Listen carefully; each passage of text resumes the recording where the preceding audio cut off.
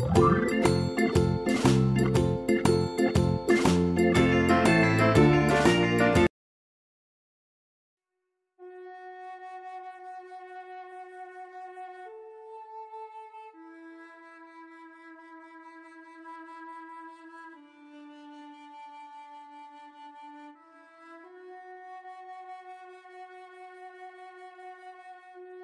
ម្រាប់ឆ្នាំជូតរិស័យថ្ងៃនេះស្រត់ចុះ នៅថ្ងៃនេះបើទោះបីជាធ្វើអ្វីក៏ដោយតោងតែគិតមុខគិតក្រោយ ពីព្រោះថាផលអាក្រក់នោះងាយកើតឡើងជាងសពមួយដង អ្នកប្រកបរបររកស៊ីជួញដូរក្នុងពេលនេះមុននឹងចង់បោះទុនធ្វើអ្វីមួយត្រូវចេះគិតគូរឲ្យបានច្បាស់លាស់មុនអនុវត្តជាក្រោយទើបអាចទទួលផលសម្រេចបានល្អ រីឯសេចក្តីស្នេហាប្រុសនិងស្រីមិនសូវចេះអត់ឱនឲ្យគ្នាប៉ុន្មានទេម្ល៉េះហើយទើបកើតមានរឿងរ៉ាវរកម្មចិត្តចំពោះគ្នាច្រើន ហើយពេលខ្លះត្រូវដំឡើងសរសៃកដាក់គ្នាទៀតផងឆ្នាំឆ្លូវរិស័យថ្ងៃនេះល្អជាមធ្យមនៅថ្ងៃនេះលោកអ្នកអាចទទួលនៅភាពកក់ក្ដៅខ្លះត្រជាក់ខ្លះហើយការបំពេញការងារអ្វីមិនសូវជារលូនល្អទេ ព្រោះមានបញ្ហារកម្មចិត្តខ្លះខ្លះមកយាយីសម្រាប់អ្នកប្រកបរបររកស៊ីជួញដូរនៅក្នុងថ្ងៃនេះផងដែរបើលោកអ្នកចង់បោះទុនតូចឬធំ ឬចង់រកស៊ីចូលហ៊ុនជាមួយអ្នកដទៃត្រូវចេះត្រួតពិនិត្យឲ្យបានគ្រប់ជ្រុងជ្រោយបើពុំនោះទេអាចជួបនៅផលអាក្រក់ណាមួយនៅថ្ងៃខាងមុខជាក់ជាពុំខាន សម្ព័ន្ធស្នេហាកំឡោះក្រមុំមានភាពផុយស្រួយចំនួនវិវាទ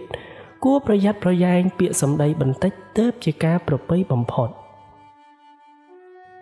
ឆ្នាំខាលរិស័យថ្ងៃនេះឡើងខ្ពស់ត្រដែតនៅថ្ងៃនេះបើលោកអ្នកមានការចាត់ចែងកិច្ចការងារចាស់ឬកិច្ចការងារដែលនៅសេសសល់ពីមុន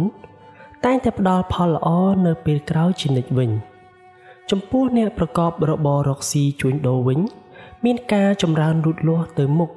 ដូច្នេះជាឱកាសល្អក្នុងការផ្លាស់ប្ដូរមុខរបរឬបើកចំនួនតូចធំល្អបំផុត ការធ្វើដំណើរទីជិតឆ្ងាយជួបតែសេចក្តីសុខក្សេមក្សាន្តដោយសពមួយដងរីឯបញ្ហាសម្ព័ន្ធស្នេហាប្រុសនិងស្រី មានភាពយកចិត្តទុកដាក់និងផ្អែមល្ហែមល្អចំពោះគ្នាប្រពៃខ្លាំងណាស់ឆ្នាំថោះរិស័យថ្ងៃនេះល្អជាមធ្យម នៅថ្ងៃនេះទោះបីជាប្រកបការងារអ្វីក៏ដោយលោកអ្នកងាយឆាប់មានការប៉ះទង្គិចជាមួយនឹងមនុស្សនៅក្បែរខ្លួនណាស់គួរក៏បីមានការប្រយ័ត្នប្រយែងបន្តិចទើបពុំមានបញ្ហាចម្រូងចម្រាសណាមួយនាំឲ្យត្រូវឈឺក្បាលការរស់នៅក្នុងរង្វង់គ្រួសាររបស់លោកអ្នកត្រូវតែចេះអត់ឱនឲ្យគ្នាទើបមានភាពសុខដុមនិងប្រាក់កាក់មិនសូវហូរធ្លាយចេញអ្នកប្រកបរបររកស៊ីជួញដូរនៅក្នុងថ្ងៃនេះផងដែរ ការរកផលចំណូលជួបការលំបាកហើយតតែស្វាស្វែងបន្តិចទើបប្រកាសហូរចូលគ្រាន់ចិញ្ចឹមគ្រួសាររីឯបញ្ហាសម្ព័ន្ធស្នេហាកំឡោះក្រមុំ មានការជឿនលឿនទៅមុខនិងផ្អែមល្ហែមប្រពៃខ្លាំងណាស់ឆ្នាំរោងរិស័យថ្ងៃនេះស្រត់ចុះនៅថ្ងៃនេះដួងរិស័យស្រត់ចុះ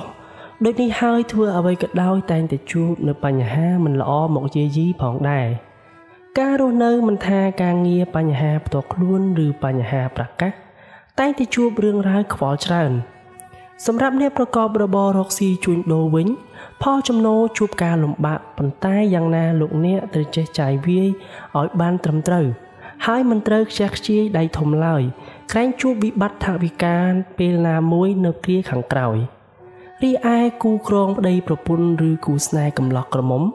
មានដំណើរថយក្រោយនិងសម្បូរទៅដោយរឿងរ៉ាវរកម្មរកុសច្រើនដូច្នេះបើជាអត់ឱនឲ្យគ្នាខ្លះទើបគ្មានបញ្ហាចំនួនកើតឡើងជាញឹកញាប់រំខានឆ្នាំម្សាញ់រិស័យថ្ងៃនេះខ្ពស់ត្រដែតនៅថ្ងៃនេះលោកអ្នកធ្វើអ្វីក៏ដោយតែងតែភ្លឺថ្លានិងជួបតែសេចក្តីសោមនស្សច្រើន លោកអ្នកអាចសម្រុកការងារបានហើយ ពីព្រោះថាផលផ្លែ តែងតែហុចមកគួរជាទីកក់ក្ដៅផងដែរចំណែកបើជាអ្នកប្រកបរបររកស៊ីជួញដូរតែងតែអាចតាក់ទាញអតិថិជនចាស់ឬថ្មីឲ្យចូលមកគួរជាទីពេញចិត្តនិងពិសេសបើចង់ផ្លាស់ប្ដូរមុខរបរថ្មីផង តែងតែសមដូចប្រកបជានិច្ចការធ្វើដំណើរទីឆ្ងាយចិត្តជួបប្រទះតែភាពសុខដុមទាំងពេលទៅនិងពេលត្រឡប់មកវិញ រីឯបញ្ហាសេចក្តីស្នេហាកំឡោះក្រមុំ មានភាពផ្អែមល្ហែមនិងមានការចម្រើនលូតលាស់ទៅមុខជានិច្ចឆ្នាំមមីរិស័យថ្ងៃនេះស្រត់ចុះនៅថ្ងៃនេះទោះបីជាធ្វើអ្វីក៏ដោយ ប្រយ័ត្នទទួលរងនឹងការខូចខាតអ្វីមួយរកនឹកស្មានមិនដល់ក្រៅពីនេះបើមានទំនាក់ទំនងការងារឬធ្វើអ្វីមួយងាយភ្លៀងផ្លត់ណាស់ គួរគប្បីប្រយ័ត្នប្រយែងទើបជៀសផុតពីផលលំបាកទាំងពួងទៅរួចការធ្វើដំណើរទីជិតឆ្ងាយចូលប្រយ័ត្នប្រយែងជាមួយនឹងក្រុមមនុស្សបៀតបៀនយាយីដោយប្រការណាមួយរីឯបញ្ហាសេចក្តីស្នេហាប្រុសនិងស្រី មានដំណើរថយក្រោយចូលប្រយ័ត្នចំនួនវិវាទឈានដល់ការបែកបាក់ឆ្នាំមកម៉ែរិស័យថ្ងៃនេះឡើងខ្ពស់ត្រដែត នៅថ្ងៃនេះផ្ដល់ផលល្អសម្រាប់ការសម្រេចចិត្តធ្វើការងារឬបណ្ដាក់ទុនរកស៊ីអ្វីមួយពីព្រោះថាផលផ្លែតែងតែឆ្លើយតបមកវិញគ្រាន់ជាទីពេញចិត្តជានិច្ចបើជាអ្នកប្រកបរបររកស៊ីមានការទិញចូលលក់ចេញគ្រាន់បើរស់រវើកគួសមហើយបើចង់ចរចារឿងទំនិញអ្វីមួយផងតែងតែអាចសម្រេចចប់ចុងចប់ដើមដូចគប់បំណងរីឯបញ្ហាគូស្នេហ៍កំឡោះក្រមុំ មានការរីកលូតលាស់ទៅមុខនិងបើចង់ផ្សំផ្គុំគ្រួសារផង ជាឱកាសល្អប្រពៃបំផុតឆ្នាំវករិស័យថ្ងៃនេះស្រចុះ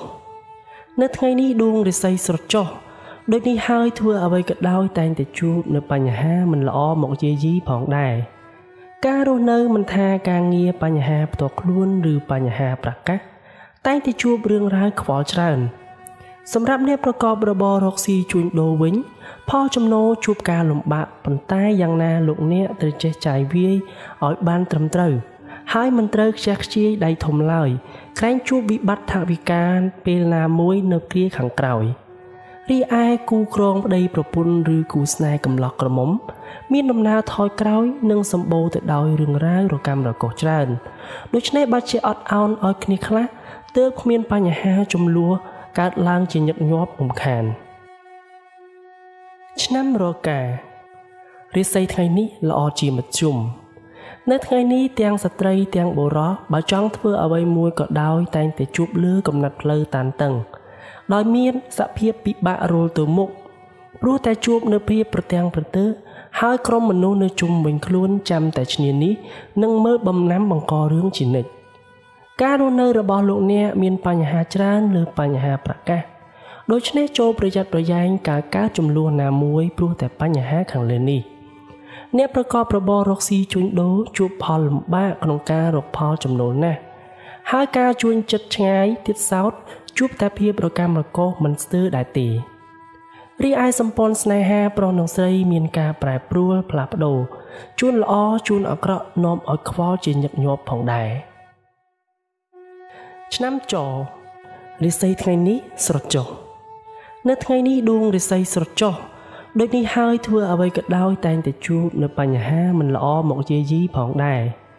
ការរស់នៅមិនថាការងារបញ្ហាផ្ទាល់ខ្លួនឬបញ្ហាប្រកាស